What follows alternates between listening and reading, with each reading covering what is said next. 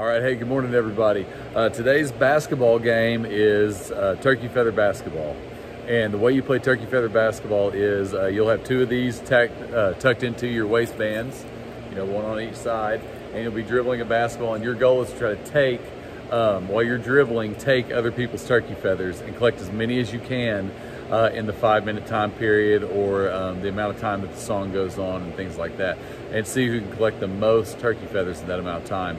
Uh, you know, I try to instruct kids, you know, one round will go left-handed, one round will go right-handed, one round they can use either hand they want to use, things like that. And the kids get very aggressive. It's just a great way also to teach kids um, to only dribble with one hand at a time and to work on those weak hand skills and things like that. So uh, it's a great basketball drill, to, uh, basketball game to play with your kids.